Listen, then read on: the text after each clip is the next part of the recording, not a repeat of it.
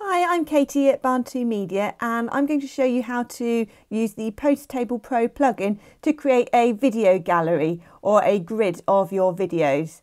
Um, it will be a bit like this one on the demo site for the plugin where you can watch videos from directly within the table and um, I'm going to show you how to do it using two different methods by embedding a YouTube video which you can also use for other hosted video services such as Vimeo and I'm going to show you how to add a video directly uploaded to your website. I'll show you the different options for setting up your table of videos so that you can choose which columns display, the width of the columns and that kind of thing. And at the end of it, you'll be able to create a really professional looking video gallery for your WordPress website. So let's get started. I'm going to go into the admin for my WordPress website and the plugin that you need in order to do this is Posts Table Pro. So in Posts Table Pro, we can see it's installed here and I'll put a link up on this video so that you can get that plugin. And once you've got that, then that's pretty much everything you need. You also need to think about how you're going to store your videos. You can add them as pages or posts, which comes with WordPress as standard. So under the posts or pages, or if you prefer, you could create a custom post type. And I've, got, I've created a video custom post type, which helps me to keep things organized because I have a dedicated area for storing my videos. So if you want to do that, then you can either do it programmatically if you're a developer, or you can use a plugin such as custom post type UI, which makes it really easy to create custom post type. And that's what I did to create my video custom post type. The first thing we're going to do now we've got Posts Table Pro installed is to add our videos to the website and we will add two videos using two different methods before I show you how to then create your video gallery. We're going to go to video, add new. Um, you would do whatever works for your website. So if you're storing your videos as normal posts, you'd go post, add new and so on. So because I'm using a video custom post type, that's what I'm going to do here and so I'm going to write video one and in the main content area for my video post this is where I want to embed my video.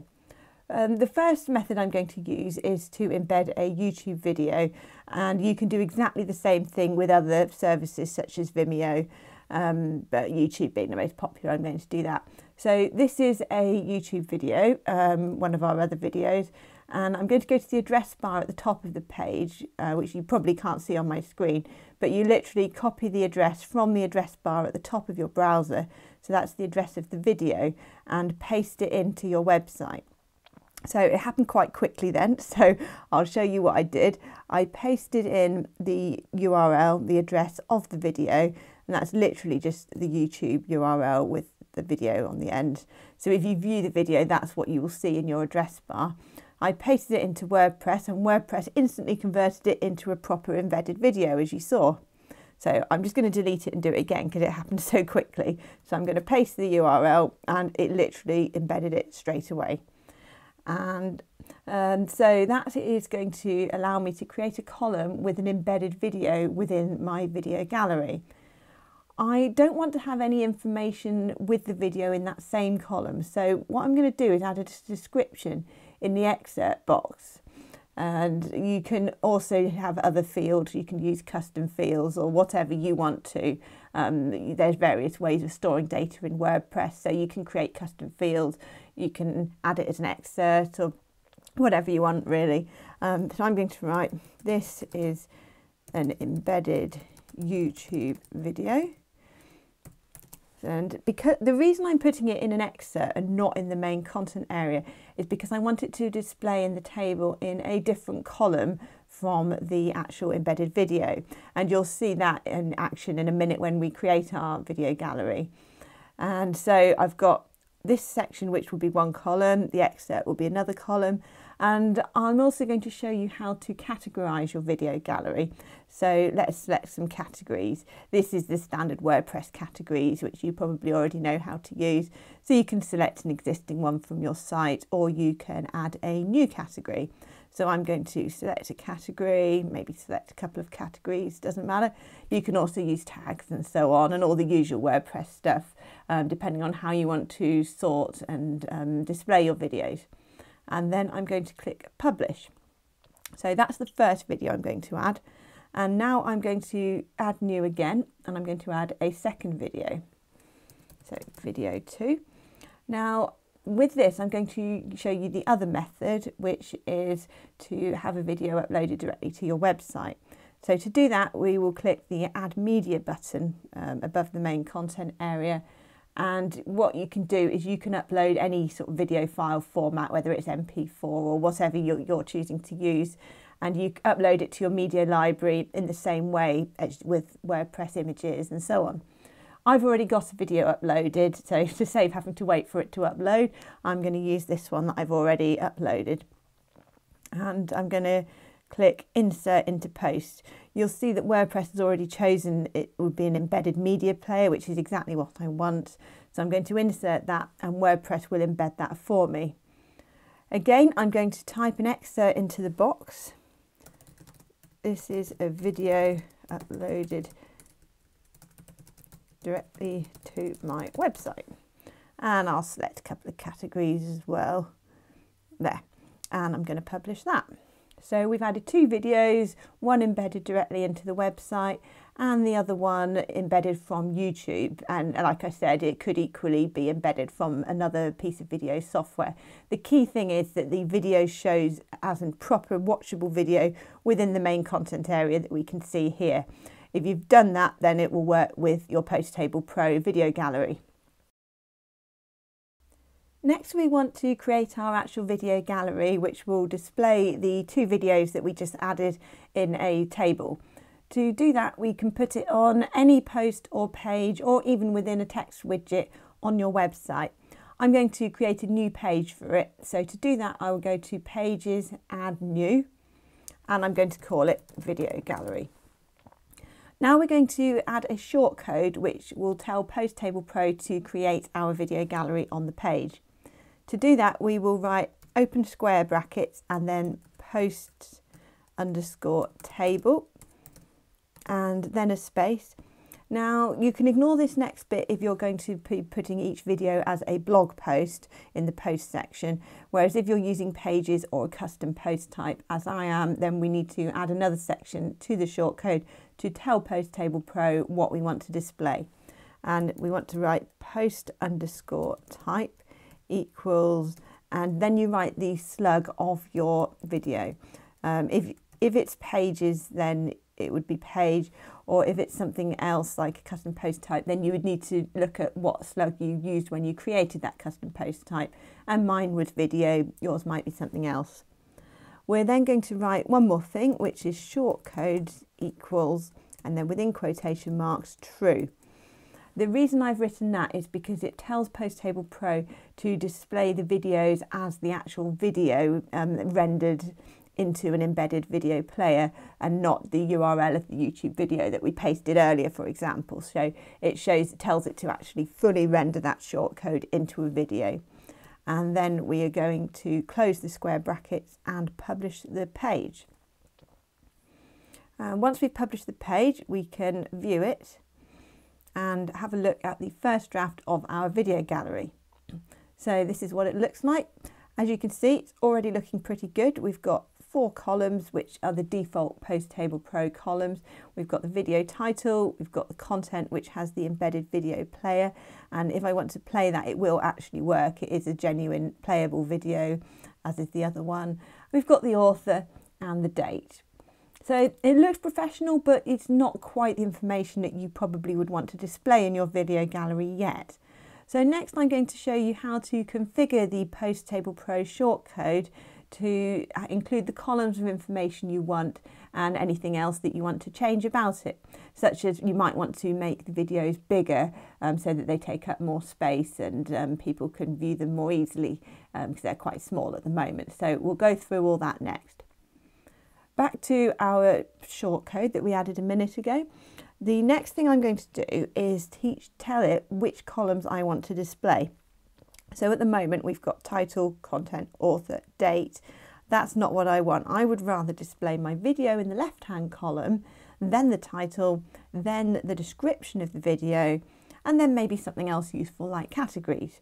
So that's what I'm going to do in this example. You can use the documentation for Posts Table Pro to choose any columns you want, and there are, a lot of options. So have a look at the documentation, and I'll use a popular example uh, to get you started. To we're going to write columns equals and then open quotation marks. Now we need to list all of the columns using the correct syntax that Posts Table Pro will recognise so that it knows which columns to display. The first one I want to write is content. Now content is this box here. That you, this is where we embedded our video uh, a minute ago when we created our two videos. So by displaying content as the first column, that will make the embedded video appear as the first column and I'm going to do a colon after that and I'm going to rename it because content as you can see here not very descriptive so um, I'm going to write watch now so if you put a colon after the column name and you can type um, the actual name that you want to display at the top of the column. So content colon watch now and then a comma. Don't put a space after the comma. You type the next column straight away with no spaces and the next one is title. That's the title up here where I wrote video one and video two for my videos. And I'm happy with the phrase title, so I'm not going to put a colon and change the terminology, although you could rename that heading if you wanted to. I'm going to put another column and I'm going to write excerpt. Excerpt is the description that we wrote at the bottom of the page for each of our videos.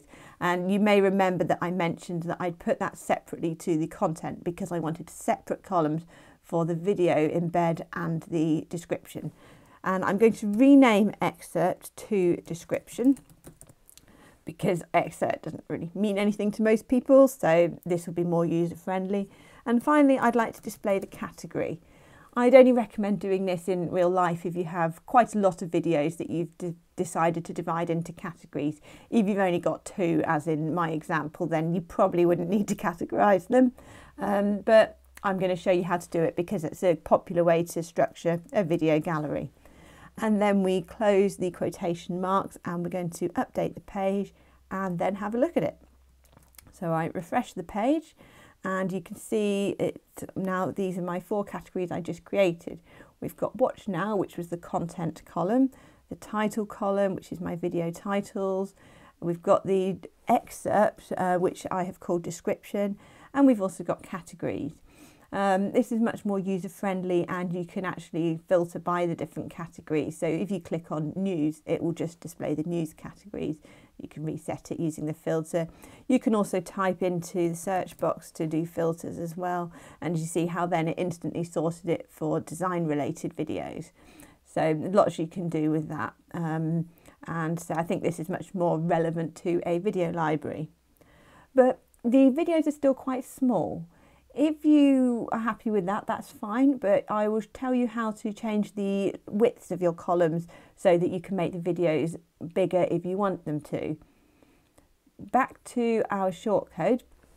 To control the width of the columns, we want to write width equals and then open quotation marks again. And what you need to do is add numbers for each column that add up to 100, so 100%. I have four columns, content, title, excerpt and category. So I need to write four numbers with col columns in between which add up to 100. I'm going to write 40, 15, 30 and 15 and then I'll close my quotation marks. So I've got one number for each column uh, to indicate the relative width of that column and they need to add up to 100%.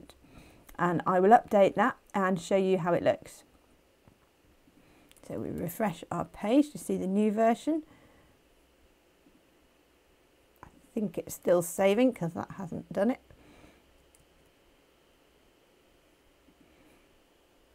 And that is because I didn't put an S on the end of width. So, oh, sorry about that. You need to write width with an S on the end and then you put the numbers in. And that's why it didn't work. If something like that happens, best to refer to the documentation and that will give you clues. So now I've entered the correct syntax, which is width with an S on the end.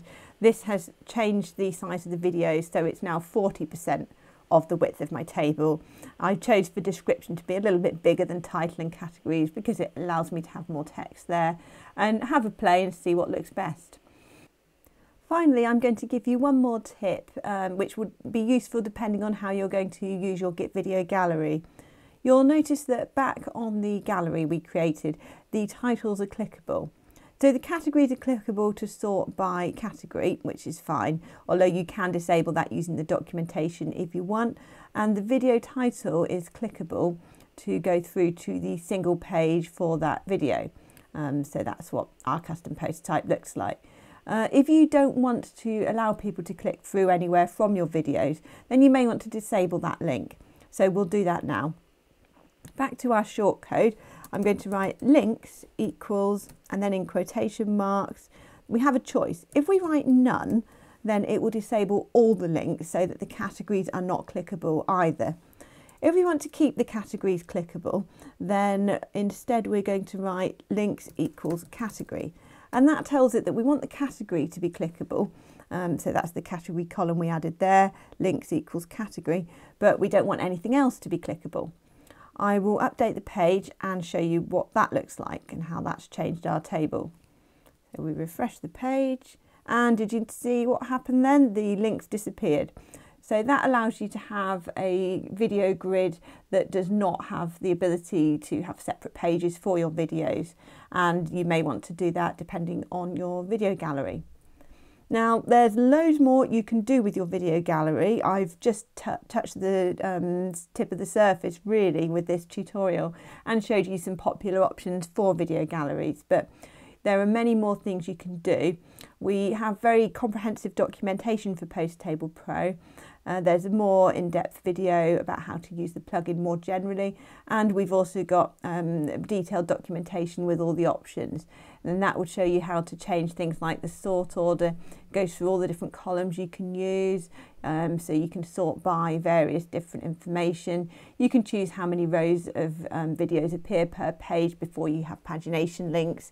You can show or hide elements such as the um, show number of entries, the search box, the data at the bottom. You can move these bits to the bottom. There's lots you can do with it. So go through the documentation and spend some time setting up the table um, to create your very own video gallery that works in exactly how you would like it to. And I hope that is useful to you.